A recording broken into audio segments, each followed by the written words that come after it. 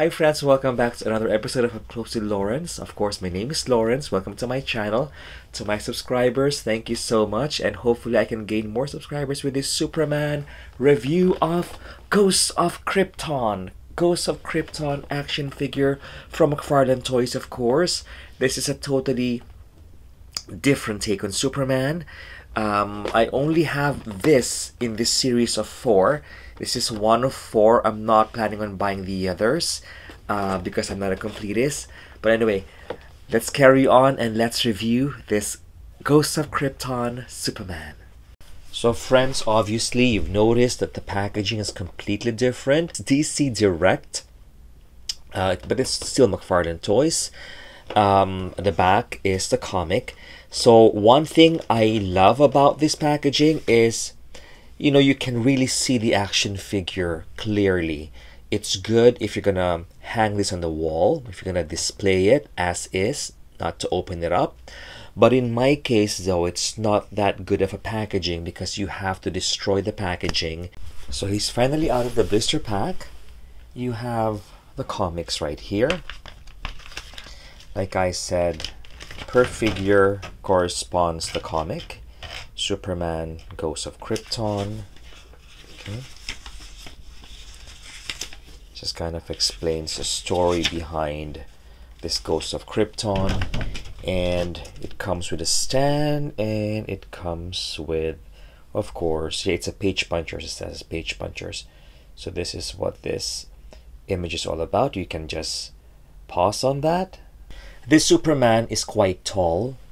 Um, I was actually quite hesitant to buy it just because it's another take on Superman that I'm not familiar, but still, though, I am a huge fan of Superman, and hence I decided to buy it. And personally, it looks awesome. It looks better than in pictures, like the McFarlane Toys uh, add on pictures, the ads. It looks nice. It looks fully armored. The armor looks amazing. You can really see the detail on the armor. Okay. And it looks like this one here looks like um, a robot, a robot head of um, Decepticons, isn't it? And this one here looks like a head of a creature from um, one of those 80s science fiction movie you know. And this are removable okay? It has a cloth soft cape which is great. It's all removable friends. Look at that. And articulation is going to be the same thing. Of course when you have the um,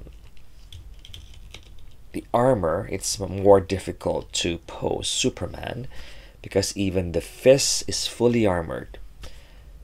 Okay, so this actually gives him the power, the energy uh, in the Phantom Zone. Look at that. It's just gorgeous, gorgeously done. The details, sculpture. Okay, look at that. S. And here, and the head of this creature. Now I don't know why. I mean, it's an armor, yes, but how come the armor looks like this? I don't know. So it pivots as well, okay? And as well as this one here, it pivots. And it looks like he is wearing like breathing apparatus. Uh, you have covers up his crotch area and his upper thighs. And the back as well as nicely done.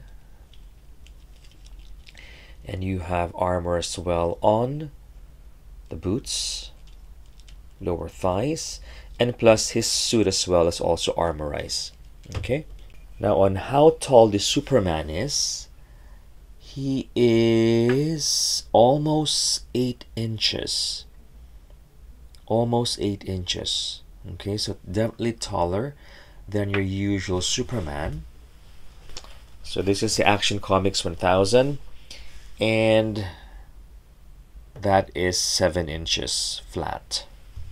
Okay, that's how tall this Superman is. So let's take off his armor. Okay, so with this, I think you can just remove it like so. And you can see the armor, like I said, nicely sculpted. Nicely, nicely sculpted. I like it. And the soft cloth cape I like. And then this one here, I think you would need to remove the head. Let's remove this one first. So for the hand armor here you have to I think oh yes oh that's easy you can just remove it like so okay.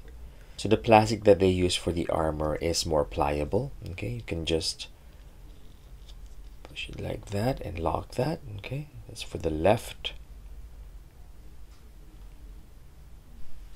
hand left fist and you have for the right one here. Again this just attaches to there. Let us remove that. Okay up there good. This is a much bigger look at that. That hits you you're dead. Okay amazing. And you have this. Oh so like there. Easy. The skirt. So the skirt is just like oh you just attach it to those two pegs there. Okay that's a skirt. It's like the new 52 belt. And again the uniform here the suit is also armorized plus the added armor.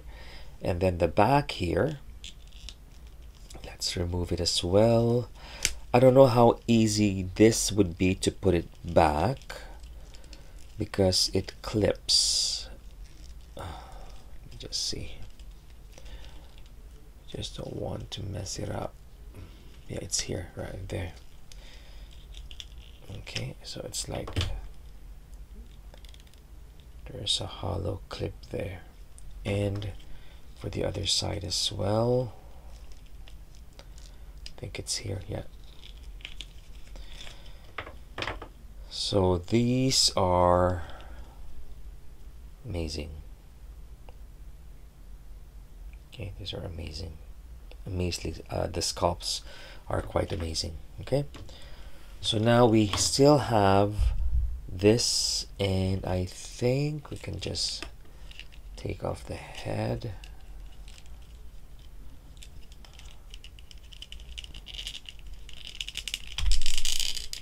Okay there we go.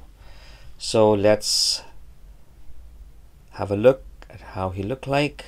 Oh all right. Not bad. And let's put it back here. All right there it is. I thought I would need a hair dryer but no.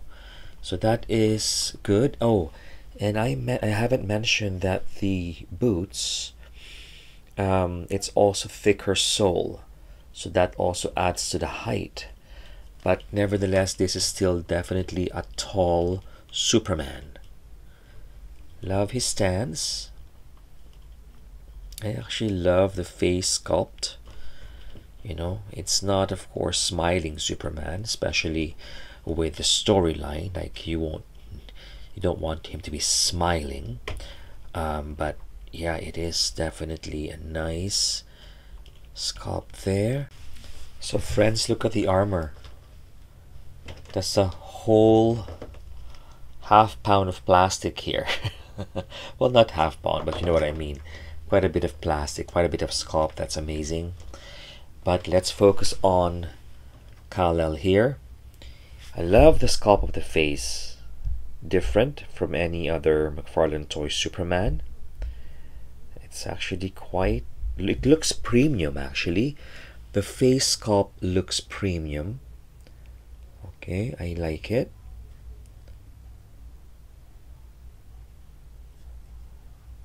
it has a neck which is good it can look up and definitely can look down.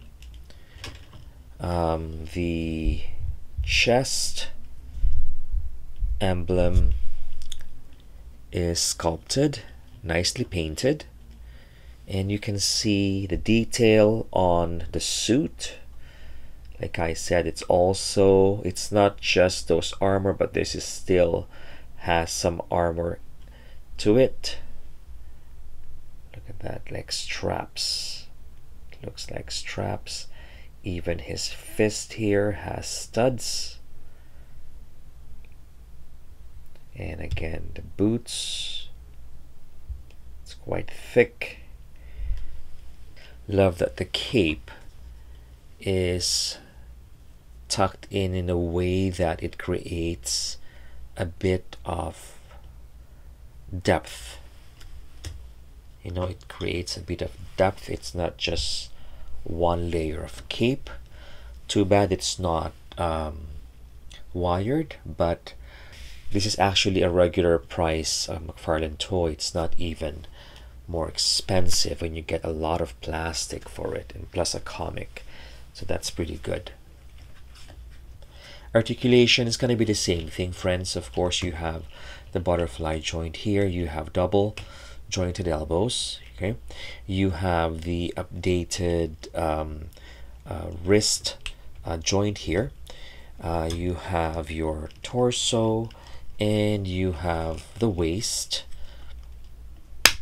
and a bit of a turn on the thigh here can do the splits you can do double jointed um, knees. You have still have the ball joint here actually. Still the old style ball joint here. Not the tapered one not the sculpted one. And you have the toe break there as well. All in all glad that I actually picked this up. And flying pose let me see if he can fly. There's no spare fist, okay? There's no spare fist. And so, oh, he can fly. There.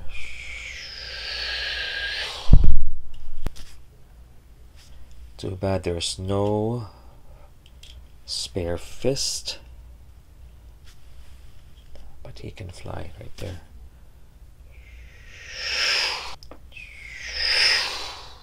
Course, we have the comparison time comparing it to my favorite Superman DC classic here, the Smiling Superman. You can see that this Superman totally is very tall. Next would be the Superman here, Infinite Earth, um, which is actually a tall Superman to start with, but still this Superman that we're reviewing right now is so tall. Action Comics 1. It's Action Comics 1. Okay. And let's add like a while back would be Action Comics 1000. So definitely this will be off scale if you're into scales and things like that, you will be disappointed just because it's completely, completely off scale. You have Detective Comics number 27 here, and with this even being a tall Batman, but still the Superman towers over him. Here's Henry Cavill's Superman, real live action, and as you can see, this uh, live action is actually a, quite a bit taller compared to the Action Comics 1000, but still, this new Superman here towers above everyone. Towers above everyone. So finally, this action figure scale well with Superman Unchained Armor. The color looks pretty cool. They complement each other. Love the blue. And of course, the Unchained armor is also Superman having armor, and but also not just an armor, but a complete helmet. Looks like a Japanese character. Now, this Wonder Woman actually looks pretty good with this Superman. So friends, I hope you enjoy this episode of this Superman Ghost of Krypton. Um, for a completist, for sure, of course, you buy it. But but for non-completists, you know, I'm torn. I'm really torn. I mean, there are lots of plastic. Love the sculpt. Don't get me wrong. I love the head sculpt of this. But it, again, it's not really a quintessential Superman. You know, it's it's a different take on Superman, and I think that makes it quite unique. So just look at this, this armor. It reminds me of Man of Steel, you know, the armor of, of Zod and the rest of the gang. But yeah, love the sculpt, but this off scale, the height of this being so tall, it will actually definitely towers above the rest of your Superman McFarlane Toys action figure, no doubt about that. If you're not into having a perfect scale, then it is alright, but if you are, you will be disappointed by it. But just the cloth cape is amazing. I love that. I love that. So again, friends, uh, if you haven't, please don't forget to click the like button, subscribe to my channel share my channel to your friends, of course, and hopefully you can click the bell as well, okay? Until my next episode, and thank you so much. See you soon.